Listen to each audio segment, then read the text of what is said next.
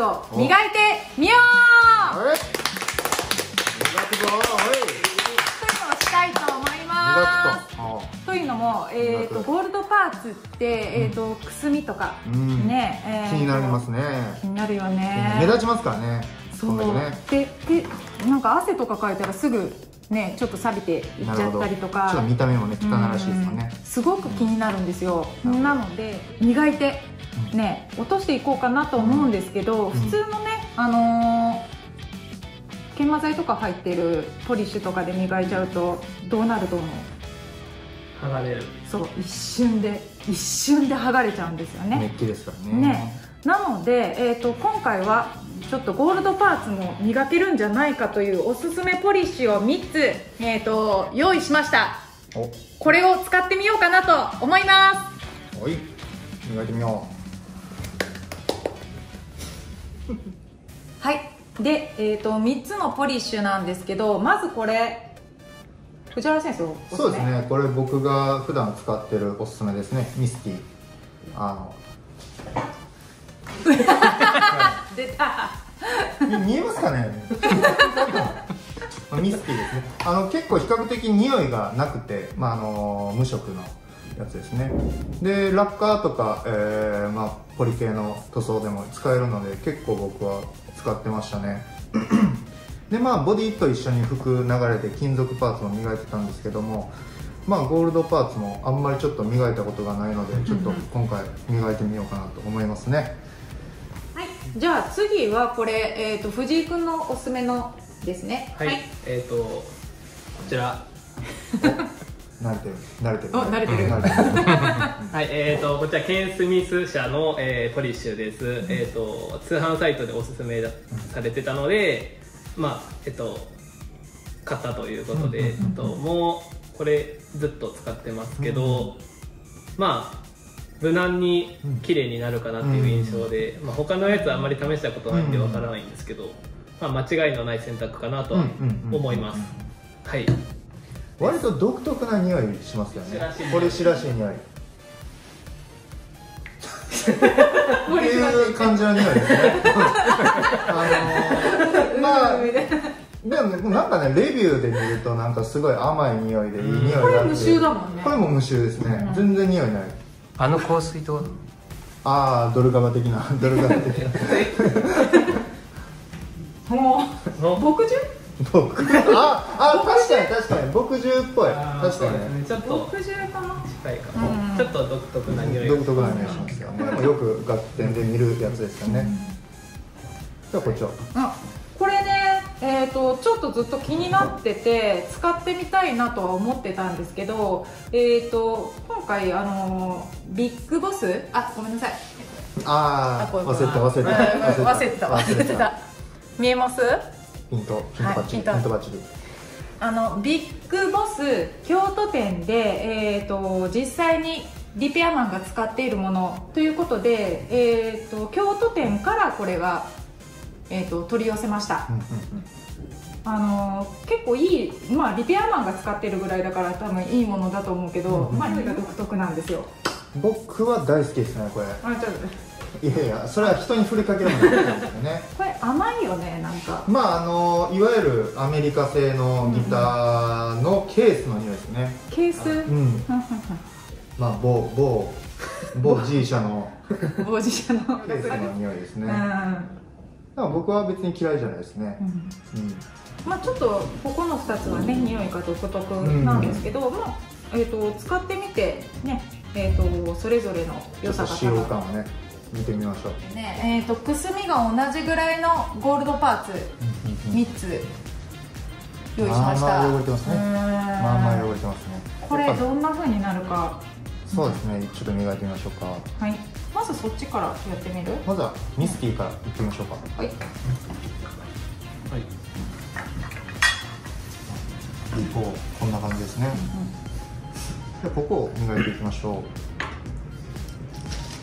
割と分離してるんで結構よく振って使った方がいいと思います。おちょっと立っちゃうごめんなさい。いいよいいよ。まあ、こういうとこはね僕雑なんですけど。まあ、割とこう水っぽい粘土もなかなかないですね。こうれあんまり。んシャバい感じですね。やっぱ匂いがないだけで。匂い全くないですね。うん気にならないですね、これは。そうかな。はいじゃあ、はいケンスミス社のはい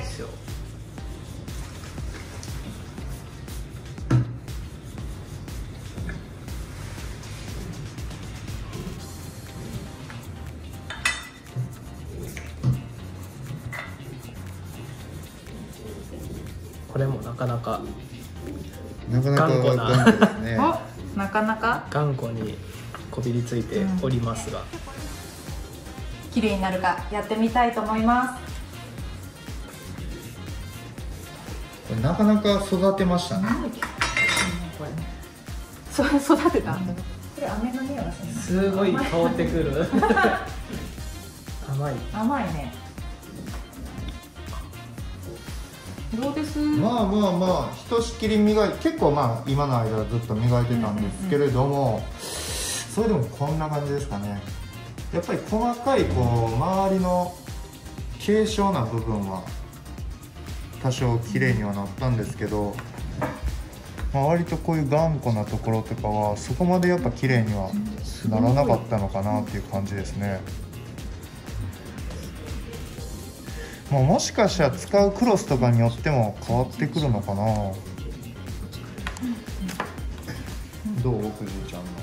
はいえー、となんとなく全体的にはピカピカっていうかまあ反射が結構いい感じになってるんですけどやっぱちょっと細かくてるね。うん。見るとくすみがいっぱいつぶつぶでつぶつぶ残ってるこう全ね体的に残ってる感じが。うん本当だね、うん。なんかちょっとはマシになったかなっていう感じですね、うんうんうん。こんな感じです。パッと見は綺麗になりますね。これこっちびっくりすんで。なるほど。見ていいいい落とし方ですね。これ見て。あらまあ。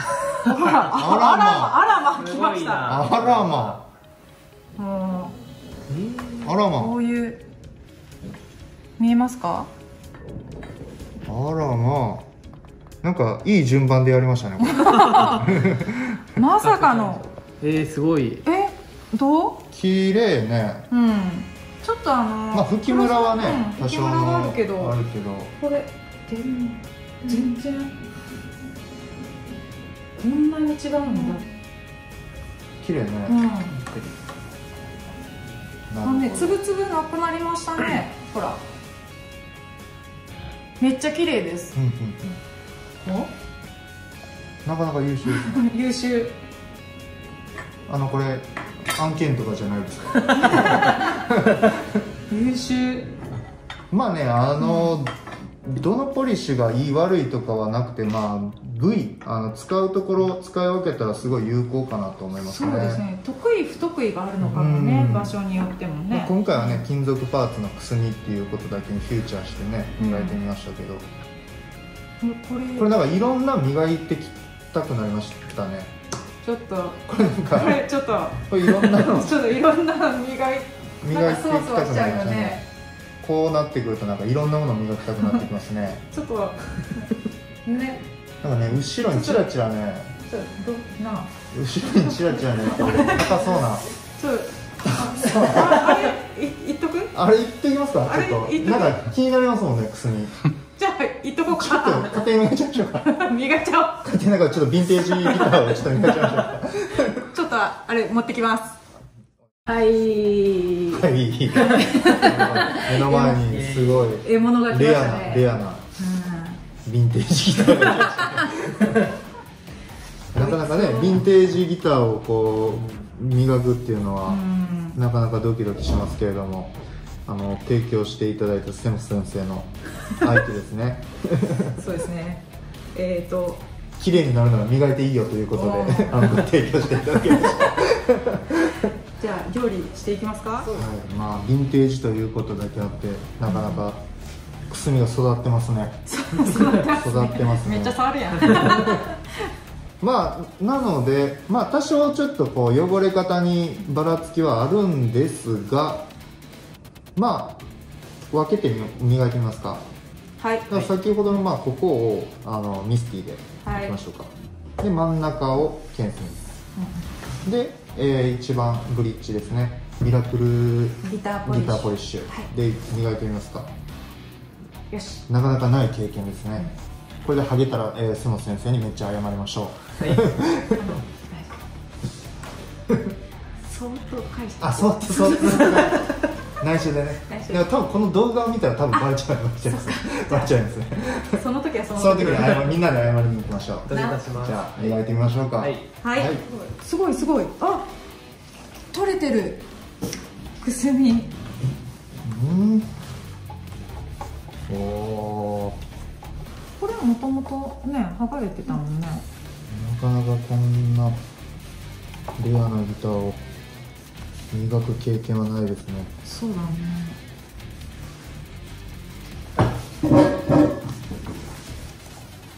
でもね結構こう黒ずみがねあ本当だ。落ちてますね。ねこれ結構ついてるね。うん。ちょいつける？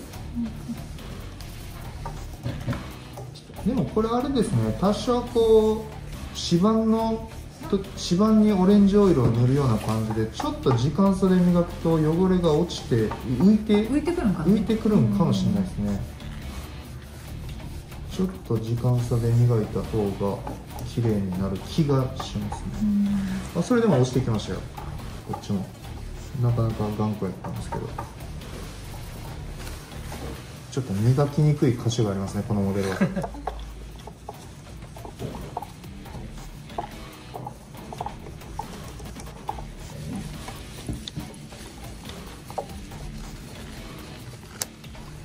この辺とか取り切れんすねなんかみんな綺麗な。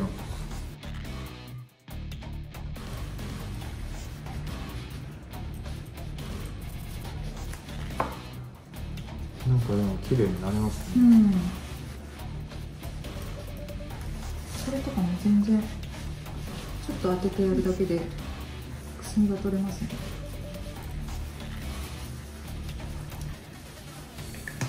限界を感じてきた。げなるほど。これがなかなか。あでも。前うん全然綺麗。ですけど、うん。こ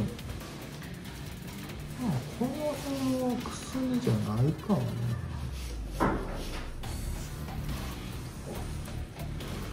いやでも全然綺麗。うん。最初から比べたらかなり綺麗だったと思います、はい。お疲れ様です、です。ということでね今磨けたんですけど綺麗になりましたね。そうですね、うん。これだったら瀬本先生。まあいいって言ってくれるんじゃないか ねえ。てか大発見でしたね。今3本今日試したんだけど、このポリッシュ大活躍でしたね。なね意外と良かったうね、金属パーツにも、ん、うん。まあオーガニックを歌ってるんでラッパーにも別に特別反応することもなく、そうですよね、これはすごいな。うん。あのうちのねお店でもリピアで、えー、と使ってるっていうぐらいなので本当にこれはゴールドパーツ向きだなっていうのを発見がありました。もしよければねあの皆さんも使ってみられてはどうでしょうか。というところで今日はここまででで、えー、と私たちねこんな感じでいろいろ実験してみようかなと思いますので、えー、ともしね気になることとか、えー、とこういったあの実験してほしいなというのがあれば皆さんどしどしコメント欄に書いてください。待ってます。お待ちしております。じゃあまたね